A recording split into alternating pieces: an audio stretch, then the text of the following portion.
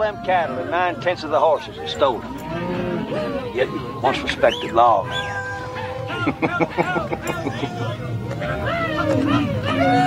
How many head do you think we starting out with? Oh, about 2,600 cattle and two pigs. That's a dang stupid thing to do, bringing that old sign along. You'll have us a laughing stock of this whole country with that we don't rent pigs part. Well, we don't rent pigs. And I figure it's better to say it right up front. Because a man that does like to rent pigs is... he's hard to stop. And if that ain't bad enough, you get all them Greek words on there, too. I told you, Woodrow, a long time ago, it ain't Greek, it's Latin. Well, what does it say, that Latin? Well, it's a motto. It just says itself. Jovarum, Jovarum feet. Jovarum double feet, you know, whatever. You don't have no idea what it says. You found that in some old book or something.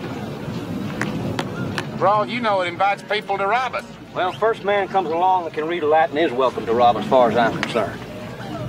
I'd like the chance to shoot at an educated man once in my life.